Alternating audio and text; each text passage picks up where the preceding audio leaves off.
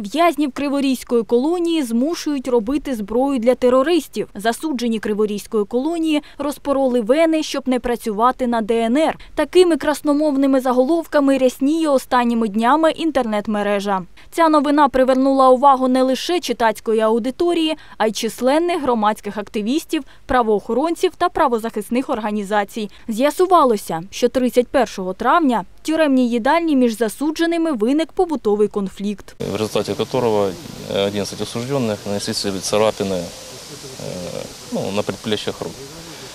Э, Уточнил, уточнилось их э, состояние здоровья, выяснилось, что царапины не представляют никакой опасности для жизни и здоровья. Про цю подію пенітенціарії повідомили працівників міліції та прокуратури. Останні запевняють, що ніяких порушень з боку співробітників колонії не було. А засуджені у такий спосіб спробували уникнути покарання за порушення режиму. Данные факты не имеют под собой никакого обоснования и не соответствуют действительности.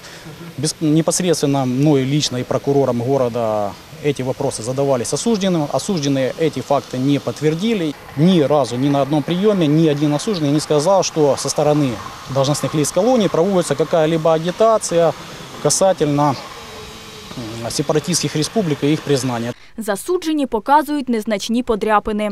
Говорять, що намірів покінчити життя самогубством не мали. Пояснюють свою поведінку просто. Був его Тоді, чесно, я не думав. Про холодну зброю, а тим паче із сепаратистською символікою, ніхто навіть не чув. Ми вскривали руки не тому, що тут роблять холодне оружие или какое-то причастие к сепаратизму. Засуджені Криворізької колонії вже більше року добровільно допомагають українській армії. В данный момент то, что мы можем вам показать, это два автомобиля, которые будут отправлены в зону, который будет вести гуманитарную помощь нашим воинам. И один вот автомобиль, который оттуда приехал, его надо чуть-чуть подремонтировать. Мы изготовили около тысячи таких шипов, которые на ночь рассыпались вокруг блокпостов. Правда, были в черный цвет покрашены. Многое, все, что здесь делается, делается добровольно нашими осужденными, как, которые высказывают свое патриотическое желание помочь чем только можно нашим дивизионам. Керівництво виправного закладу переконує, більшість засуджених налаштовані патріотично і всі підтримують Збройні сили України. Виготовлення будь-якої продукції з символікою так званих ДНР та ЛНР тут просто неможливе. Люди, которые у нас отбывают срок наказания здесь, находясь в тех регионах, с Луганска, с Донецка и даже с Крыма, были одними из первых, кто согласились добровольно выполнять продукцию, которая помогала нашим воинам защищать себя в первые дни войны. Громадські активісти та правозахисники теж переконалися в недостовірності поширеної інформації.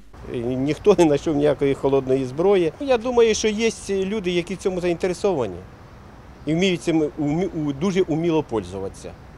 А- А я думаю, що прежде всього треба думати за країну, треба думати за порядочність.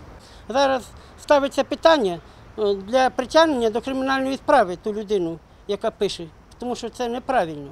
Це все ну, брехня. Пенітенціарії пояснюють, як правило, такі плітки розповсюджують самі засуджені або ж люди, які коли-небудь мали проблеми із законом. Вмешательство в работу механизма дестабилизирует работу учреждения в целом.